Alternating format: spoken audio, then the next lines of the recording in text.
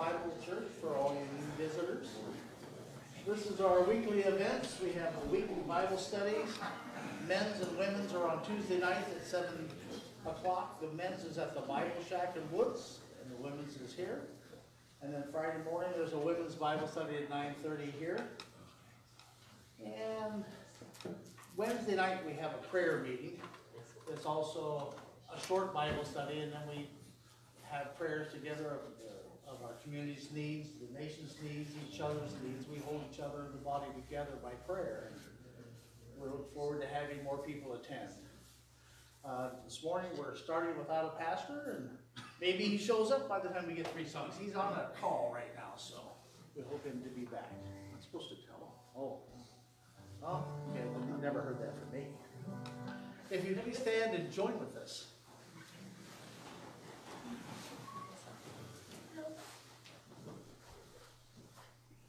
Open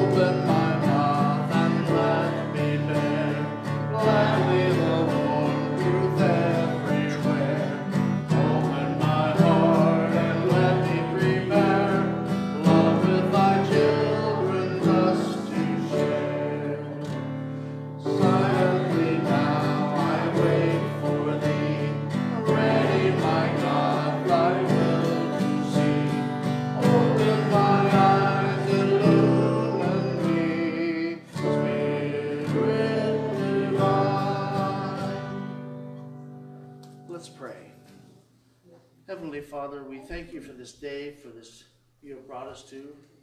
You continually bless us.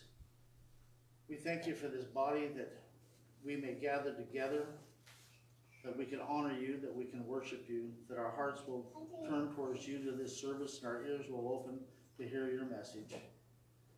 Watch over Dan and the people he went to console. May they be well when this is done. May your will be done in what has happened. Lord, we thank you for this, and in Jesus' name we pray. Amen.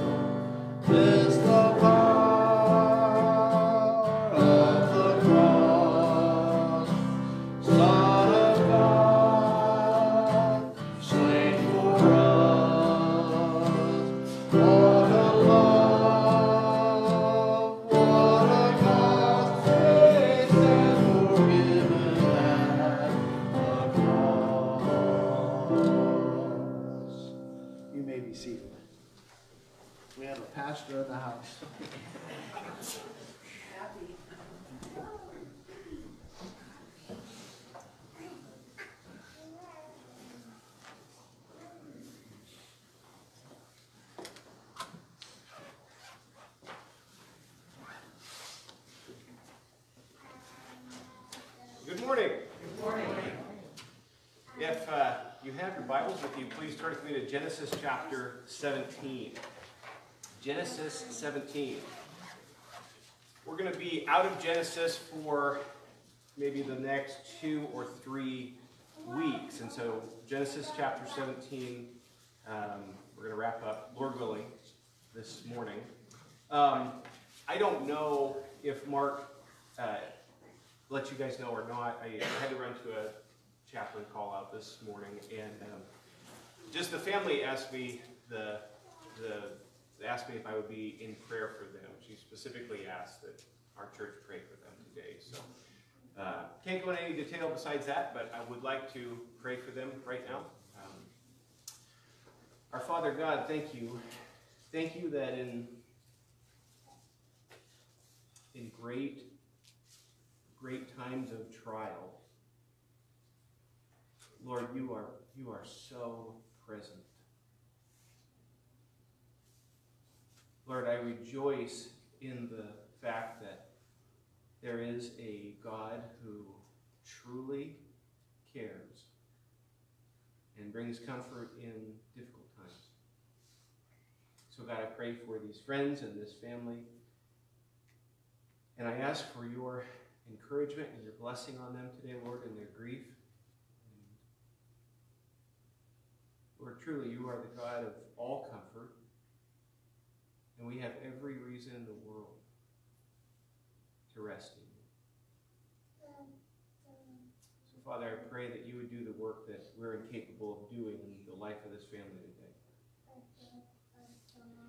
And God, be with us as we turn our attention to your word and seek to understand uh, in a more clear way who our God is. That, Lord, we would be sanctified greatly, more sanctified in our time in your word, and you would be more glorified in our lives, Lord. Not that we draw more glory to you, but we recognize how glorious you really, really are. And so bless this time, Father, as we as we study together in Jesus' name. Amen. If you would turn it with me to Romans chapter 4. I'm going right back to Genesis 17, but Romans chapter 4, verse 18. I want to set this as kind of the backdrop to uh, our passage this morning. We read this last week. I read the whole chapter last week, but I just want to read this portion now as we kind of um, as we begin. So Romans chapter four, verse eighteen. Speaking of Abraham. In hope, he believed against hope that he should become the father of many nations as he had been told, so shall your offspring be. He did not weaken in faith when he considered his own body, which was as good as dead, since he was about a hundred years old, or when he considered the barrenness of Sarah's womb. Now catch this, guys. No distrust made him waver concerning the promise of God but he grew strong in his faith as he gave glory to God. Fully convinced, it's worth underlining, that God was able to do what he had promised. Fully convinced God's, God was able to do what he had promised. That's why his faith was counted to him as righteousness, but the words it was counted to him were not written for his sake alone, but for ours also. It will be counted to us who believe in him who raised from the dead Jesus our Lord, who was delivered up for our trespasses and raised for our justification. Now, if you turn back to Genesis chapter 17, we're kind of in the middle, uh, kind of a, not a crossroad, but kind of an intersection here on this chapter, because last week we saw chapter 17, verses 1 to 14, and saw exactly what the Lord was coming and promising to Abram. If you remember right, uh, last week I gave this image of a, of a lens, and a wider lens so that way it was clearer to the people who were seeing it.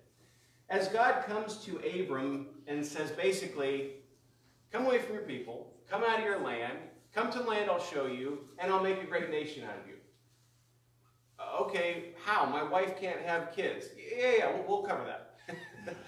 Just follow me, uh, and, uh, and I'll take care of the rest.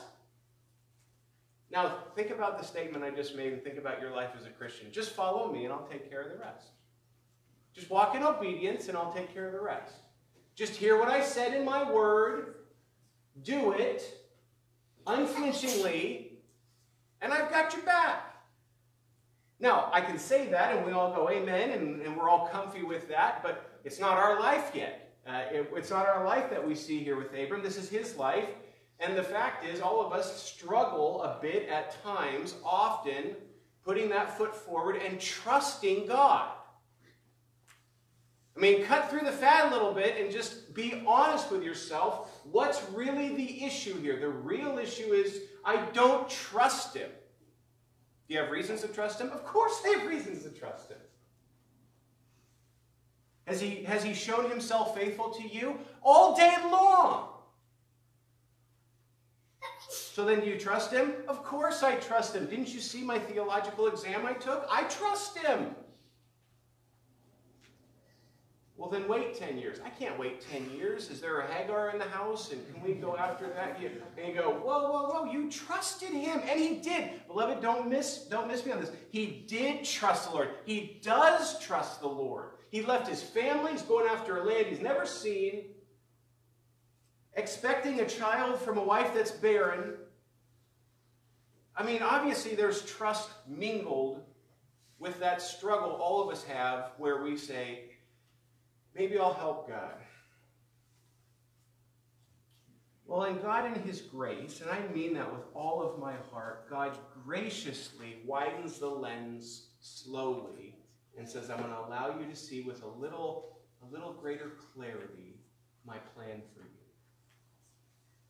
I think if you were to give him the whole picture when he was in the Ur of Chaldees, Abram just would have been flabbergasted. And if he would have had the entire picture, there wouldn't be a whole lot of faith involved and trust in God's character.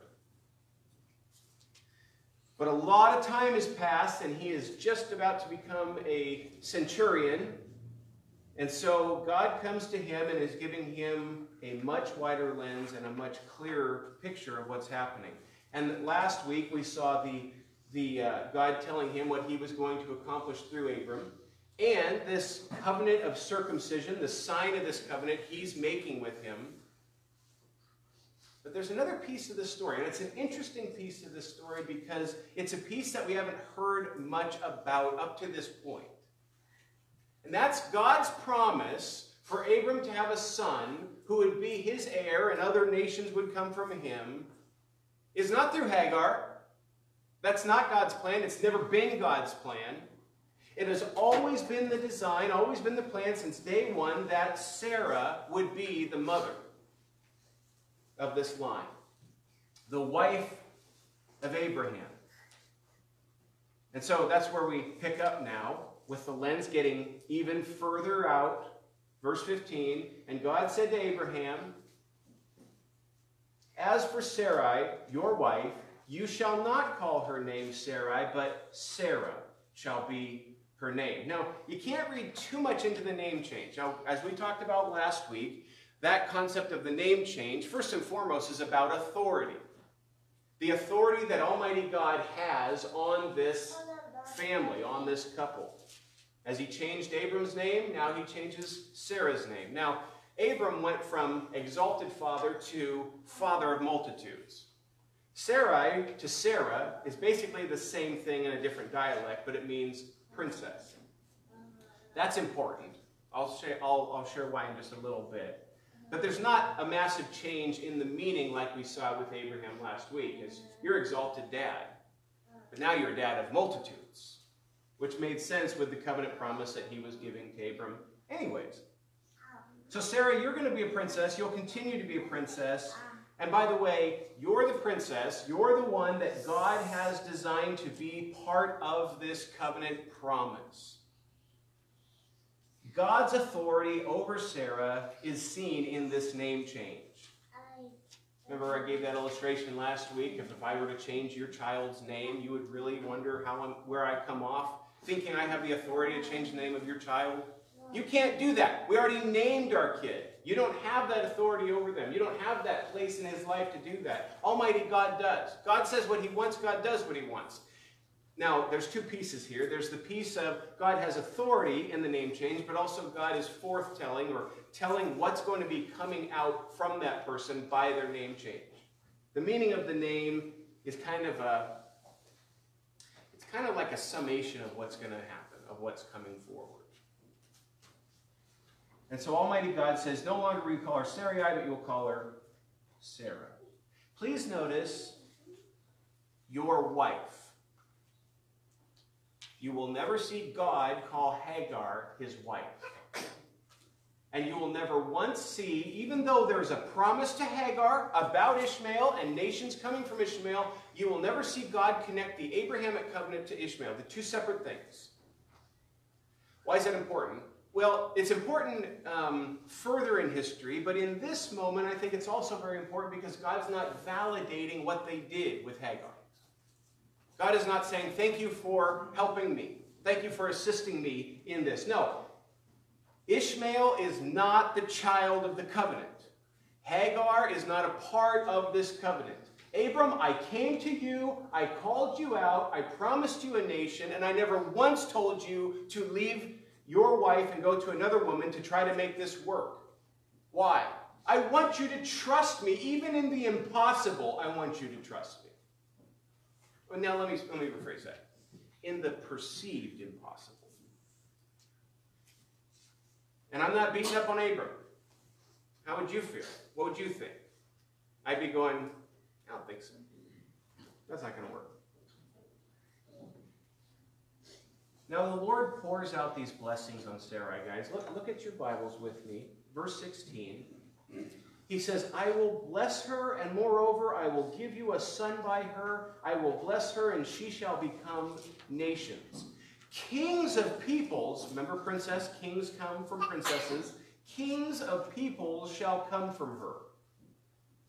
So there's great blessings here. Number one, I will bless her. So the very blessing of God is on this woman. She will have a son. I love the phrase, I will give her a son. She's, you're not, not doing this out of the scope of God's grace. This is all under the banner of His grace. I'll give you a son. I'll allow you to have a son. You've been bearing up to this whole point, but now I, in my grace, will allow this to be, and I will give you a son. Nations will come from her. Now remember, 90. 90 years old. Nations will come from you. Kings will come from Sarah. We'll see a group of kings come through this line.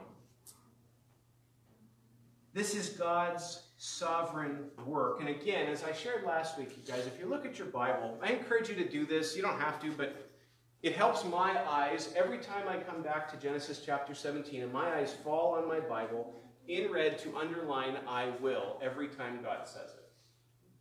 I will do this. I will do this. I will do this. I will do this. That's so important because so often, and I don't know about you, but I'm more of a doer. I don't like to wait. I'm not good at waiting. I'm more of an impatient type fella. And, and so I, I want something to do. And here God is telling Abram over and over, and Sarah over and over, I will do this. You will not do this. I will accomplish this.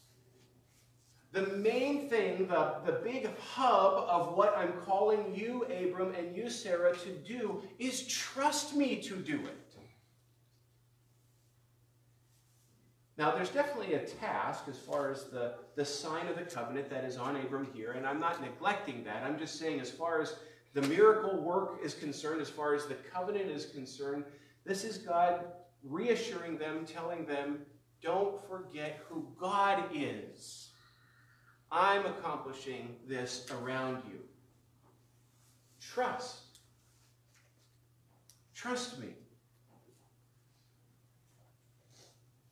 Those I, those I wills have been some of the, the sweetest fruit of the study for me in this passage.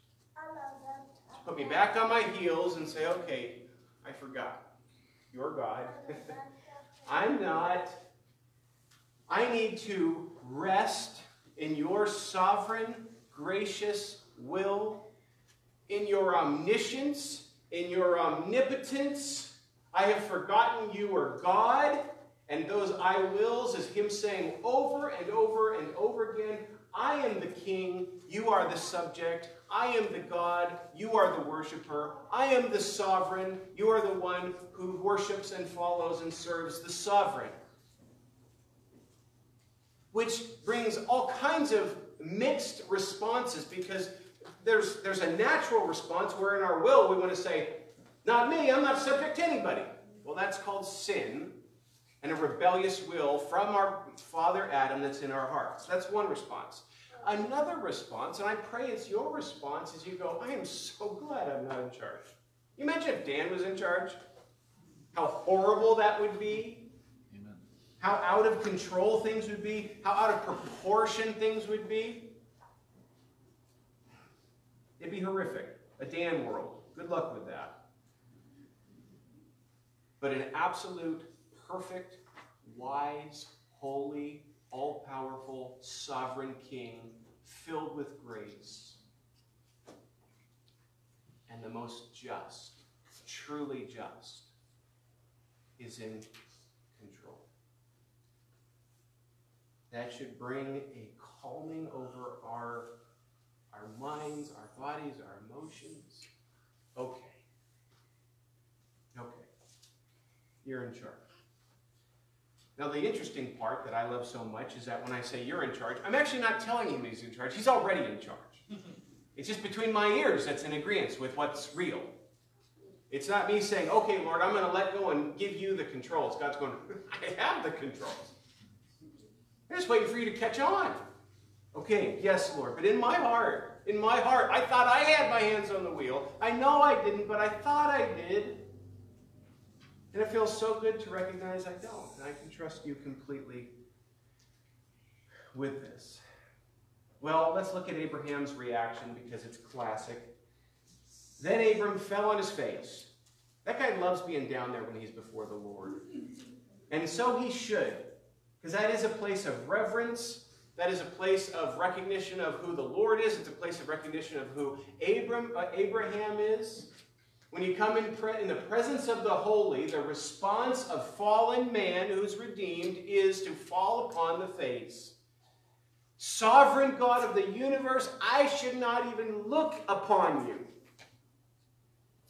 But there's another thing added here.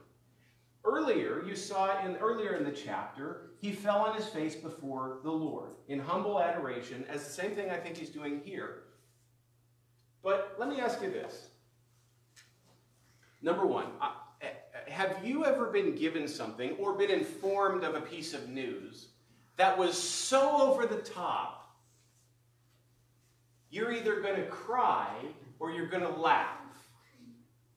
You just, you just couldn't believe. I had, I had uh, a, good friend of mine one time surprise me. He wouldn't tell me where we were going. We were, this is when I was in Eastern Oregon, and we were going over to, to Idaho. And we went over into Idaho, and he hadn't told me anything of why we were doing this. And then he hands me two tickets to see B.B. King live.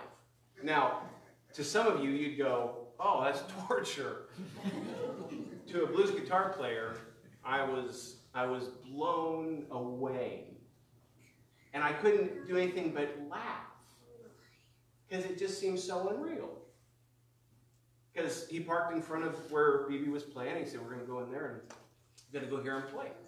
And I just, I couldn't believe this person, and particularly this individual, couldn't believe they would do that. I remember just laughing, looking at the tickets, and I said, okay, that's crazy, but let's go. It was a great concert. There are times in our lives where we are so overwhelmed, we can't even believe it. Now, it's not, this is the interesting part, and this is what I'm convinced of by this passage, guys. It's not unbelief where Abram is saying, You can't do that, God. You're incapable of doing that. I don't think it's that. I think it's, it's, it's a disbelief in the sense that it is so far beyond reason, so off the charts logically, all he can do is laugh. There's no way. I'm a hundred years old. As one woman told me that he was old and Sarah was advanced in years. There's a vast difference between the two. None of us can get on this guy for laughing at the response. And now, what, he, what comes out of his mouth as far as his response to the Lord is telling that he truly is struggling with this. This is so off the charts, Lord. I don't know what to do with this. But the reason I wanted you to read Romans 4 before we came to this passage was the passage says he never wavered in his trust. And I, I, don't believe he's wavering in his trust here. I think he's truly just seeking to work it through his system of God, what are you, what are you saying? What are you saying? What are you, what are you laying out in front of me here? So on his face, you can all picture him, can't you? Here's this 99 year old dude on his, on his face before God, and his body starts shaking, and he's just laughing to himself. Abram fell on his face, verse 17, and laughed and said to himself, please notice, to himself, Shall a child be born to a man who's a hundred years old? Shall Sarah, who is 90 years old, bear a child? And Abram said to God, Oh, that Ishmael might live before you. I don't know about you, but when, when something is brought into view and there's something going on and somebody brings something up to me and it seems absolutely outlandish and there's no way, my brain, the way it functions typically, is to look at some other secondary thing that makes more sense that will really work, right? It's like, oh, it's going to be this way, Dan. Um, when we go home today after church, you close your eyes, click your heels, say there's no place like home, and then you're going to pick up and you're going to be carried off to your house. My first mind, but I got a car right there. Right?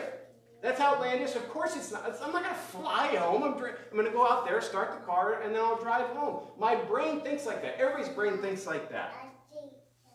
Abraham's brain was, may Ishmael live before you. He's alive. He's 13 right now. He's, you know, he's he's he's being born.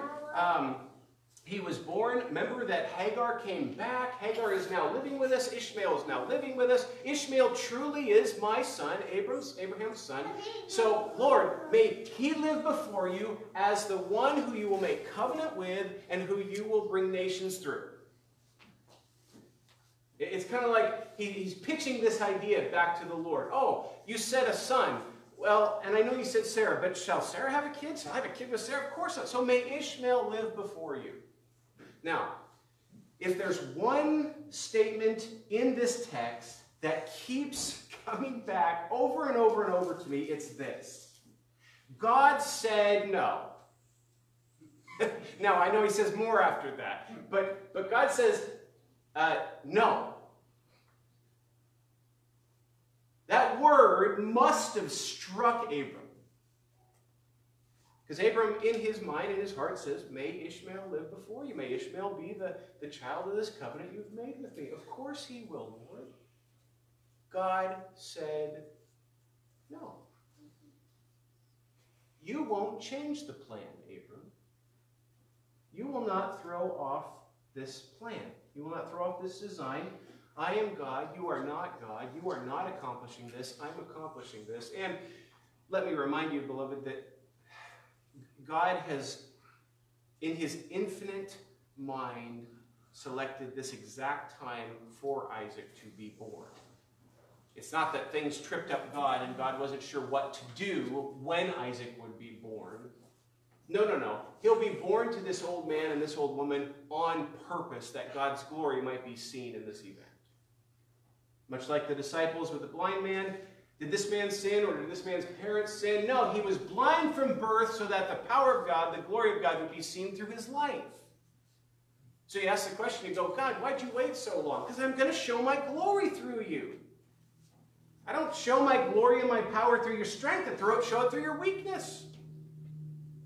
I want to see you weak. I want to see you old, Abram, so that everybody goes, not a chance could that guy have kids with that barren woman who's 90 years old, and nations came from them. And the only answer is there's a God in heaven.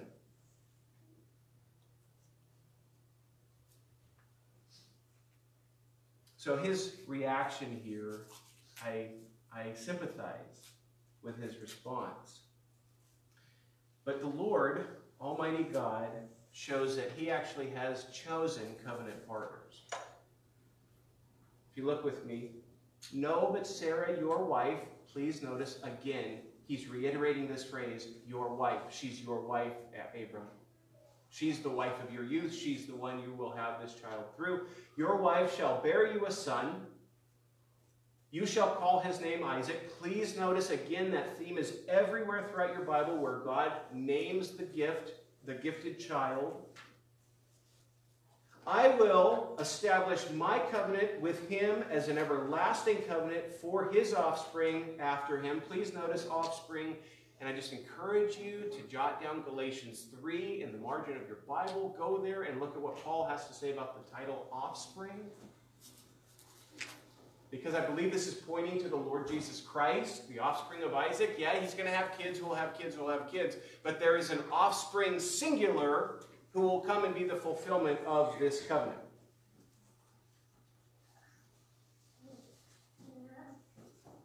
As for Ishmael, now this is a very, very, very fascinating to me. As for Ishmael,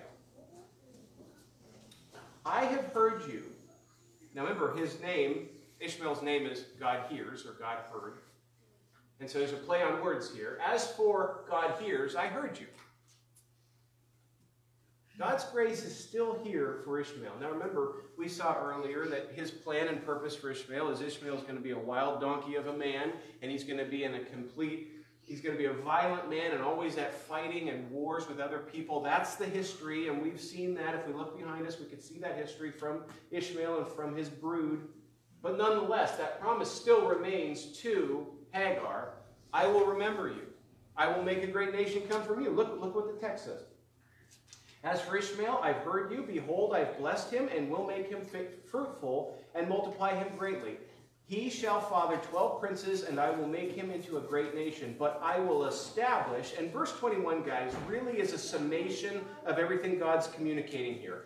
But I will establish my covenant with Isaac whom Sarah shall bear to you, Abraham, at this time next year. What a mouthful in one verse. In one verse, all this time, beloved, that you go all the way back to chapter 12, where God comes to Abram and says, Leave your people, and I want you to come to this land I'll show you. And everything that we have had in between there and here, that one verse really summarizes the whole thing going on here. God's plan. He's widening that lens that they might see his divine plan. Let me read it one more time. Verse 21. But I, God, will establish my covenant with Isaac, not Ishmael, whom Sarah, your wife, and I know I'm reading into it, shall bear to you, even though she cannot have children, she will bear to you, Abraham. You will be the father at this time next year. In a year, Abram, you are going to see a kid come from you and from your wife. That kid is the one that I promised to you. He is the recipient of this covenant. The children that come from him are the recipients of this covenant. I am going to accomplish all this before your very eyes. Now, up to this point, God has said, I will do this, I will do this, I will do this, I will do this. One of the first times where he says, in a year. I don't know about you. If somebody tells me, hey, Dan, I've got a Harley Davidson for you. Really? Yeah, I'm going to give it to you. When? I'll give it to you. Oh, okay. What, but when? When I give it to you? Five years pass, 10 years pass, 15 years pass, 20 years pass. Okay, Dan, now that you're 99, here you go. Vroom, vroom. Good luck with that. But when somebody, especially when it's Almighty God, says, this time next year, you will see a miracle before your very eyes by my power. The promise I promised you that brought you away from your family, you're going to start to see this unfold right in front of you. Your faith, now this is, this is what's so beautiful. Your faith will partially become sight soon. I can't help but think, what, what was that year like? The expectation and the joy and the, I don't know. I don't know. But if you underline in your Bible or write in the margins, verse 21 really is a summation, beloved, of this, of this whole event. Let me um, turn to this last bit of this chapter and draw our attention to the Lord's Supper. I title this portion, The Unflinching Obedience. I don't know about you, but the sign of the covenant and who receives the sign of the covenant would make for a very interesting conversation among Abram and his family and his servants to explain to them, I need to, I need to do this sign of the covenant to you. Why? God said so. God said so. Yeah. Um, and I want to put this sign in your flesh because God said so. Look at verse 22. When he had finished talking with him, God went up from Abram. What that means, I'm not quite sure as far as when the Lord's presence was there, when his presence was gone, what exactly the manifestation was, but it was apparent to Abram, God now had gone. And Abram knows his marching orders. He's not second guessing in any way, shape, or form. Then Abram took Ishmael, his son, and all those born in his house or bought with his money, every male among the men of Abram's house, and he circumcised the flesh of their foreskins that very day. That is one of the best, most beautiful phrases in Genesis. That very day. Delayed, obedient, delayed obedience is disobedience. God says, do it. I'll get around to it. You know, a parent says, I need you to stack the wood. Go out and stack the wood. Three weeks later, you didn't stack the wood. Dad, I'm going to get to it. That goes over well, doesn't it? God says, Abram, sign of the covenant, every male, do that. That very day, unflinching, immediate, response to the Word of God. That's what He calls me to do, and that's what I do. Period. Now, reason with me a little bit, guys. Think, think carefully with me, and just think about our nature. You think there was any conversation between Abram, his servants, his, his son Ishmael, all the people in his home, all the males, every single male there? Let me give you an argument that I think I could pose to him if I was in that camp. I would say, Abram, don't you realize that if we do that, you take every single warrior out of commission for a while? Who's going to protect us? Are you sure God wants us that? God, God wants us protected, right? You're taking every ounce of protection away from us. Abraham's response? Yeah, except, uh, uh, oh, what's his name? God. So let's walk in obedience and trust him. He'll protect us. He'll guard us. He said to do it. Do it. Walk in obedience to the living God. I, I love that phrase. That very day. Done. That very day, as God had said to him.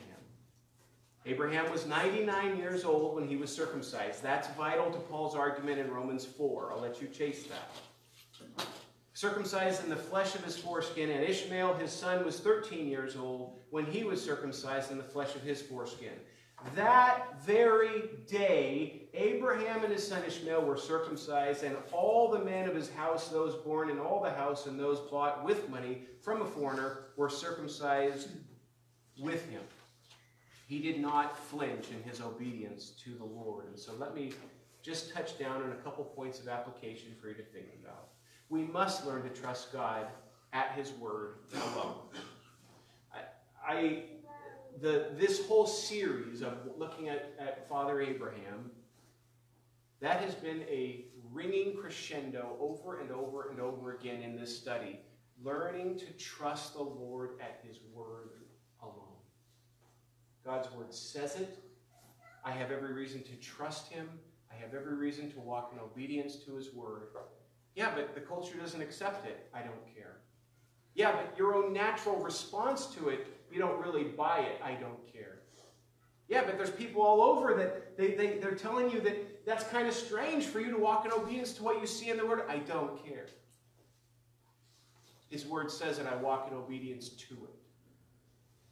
That very day he walked in obedience. When he, beloved, when you see something from the Word of God and you see it clearly within its context, you believe that is the truth of the Bible, and you see something in your life that's out of sync with it, that very day. Lord, I want change. I want to walk in obedience to you. And please, please, don't, don't miss me here. I am not in any way saying, therefore, Abram was justified before God by his works. Of course not. He already believed on God and was credited him as righteousness. The works flow from the faith. The salvation does not flow from the works. Faith, justification, works flow forth. It's not that he did the circumcision here and God says, okay, now he's justified. No, no, no, no, no. Now, this is the entire point of Paul in Romans 4. He was justified way before he ever did that. By what? By faith.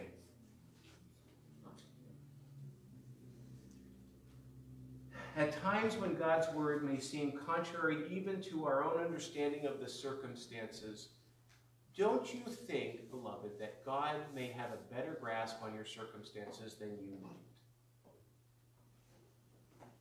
We must walk in obedience to Him and trust in the fact that He is God and I am not. And I would just simply point to you Noah building a boat, no water. Abram moving to a land, he doesn't know where he's going, with a kid coming from a wife who's barren when he's 100 years old. Daniel stepping into a lion's den, one way or the other. God is in sovereign control, and I trust him. Don't pray. Okay, I'll open the windows to. And then Daniel's three friends being thrown into the furnace, saying, Our God is fully capable to rescue us. But even if he does not, we will not worship your image. We will serve the Lord. Beloved, faith, the assurance of things that you, you don't see it, but you know it. You know it clearly. You have every reason to trust. And so, as we do turn our attention to serve the Lord's Supper, here's the word that I want to just give to you this morning from this passage. And it flows perfectly because the promise to Adam and Eve that the seed of the woman crushed the head of the serpent, the promise to Abram that from you will come this offspring, and we'll see that that offspring ultimately is the Lord Jesus Christ. Beloved, there is salvation in no other name. That's what all of this Old Testament history is driving towards salvation in Christ and in Christ alone. And so here's my charge to you this morning. I challenge you with this. Rest in the grace of God in Jesus Christ. I don't know. I think on paper, probably most all of us would write down salvation is by grace through faith, that not of ourselves, but uh, in Christ, faith in Christ.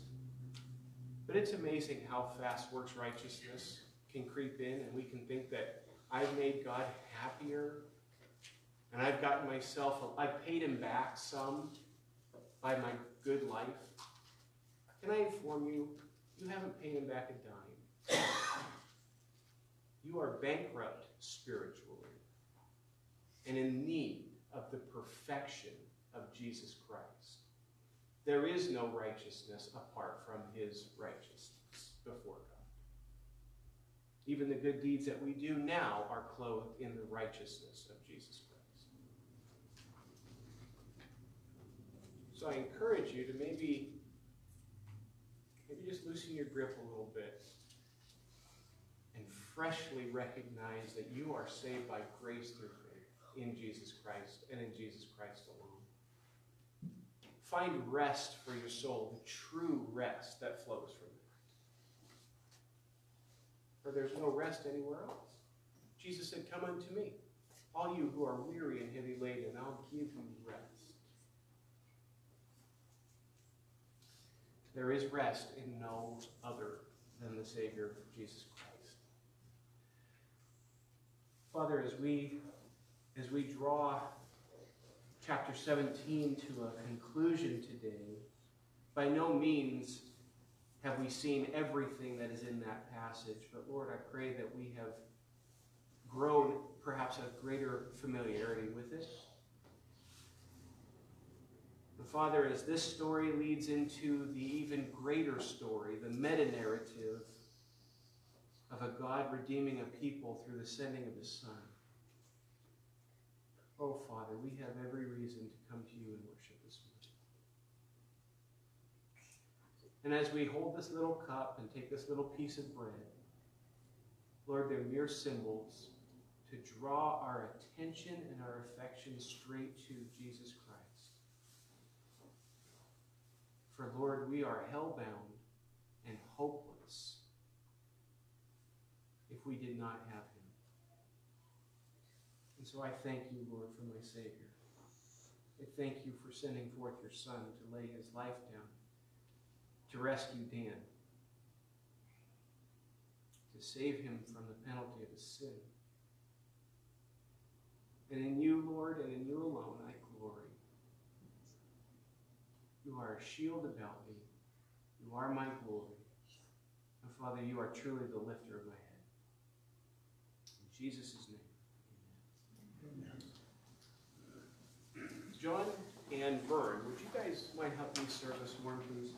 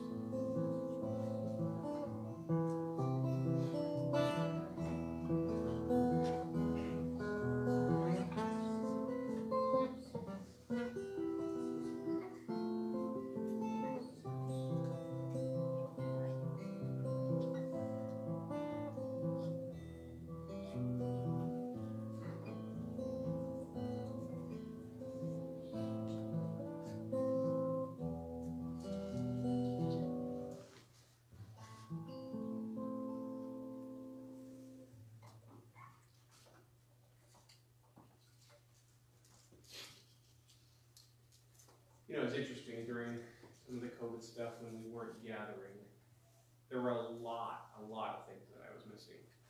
This was one of the top on the list, um, having communion with you.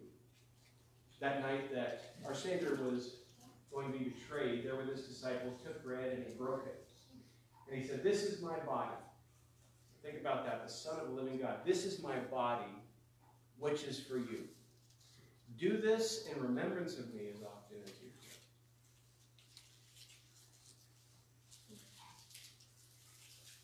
John, would you thank the Lord for his salvation he's given us? Father, we take this bread and we do this in remembrance of you and all that you have done for us. We thank you, Lord, that you have sent your Son, Jesus Christ, to save our souls. Amen.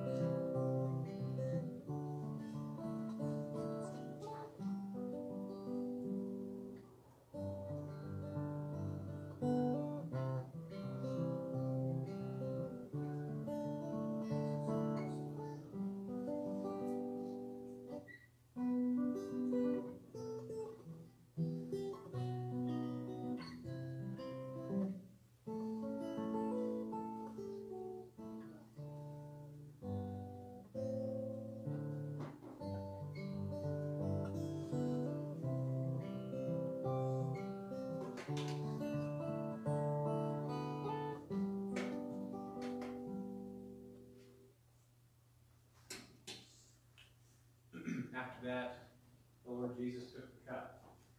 And he said, This cup is the new covenant in my blood. Drink this as often as you do in remembrance of me. For as often as you eat the bread and drink the cup, you proclaim the Lord's death until his return.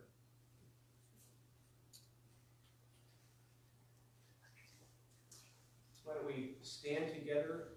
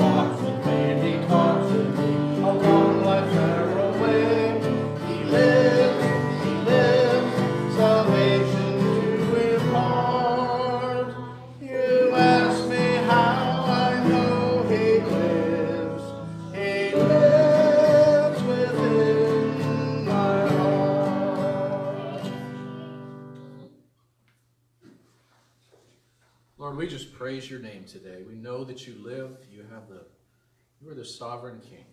And um, Lord, I, I pray that you would give us not just the faith, but the, the quick obedience that uh, you saw in Abraham. Uh, and as we leave this building, I pray, Lord, that um, your words would just burn in and stay with us, and that we would. Uh, continue and walk in praise with you. In Jesus' name, amen. amen. amen.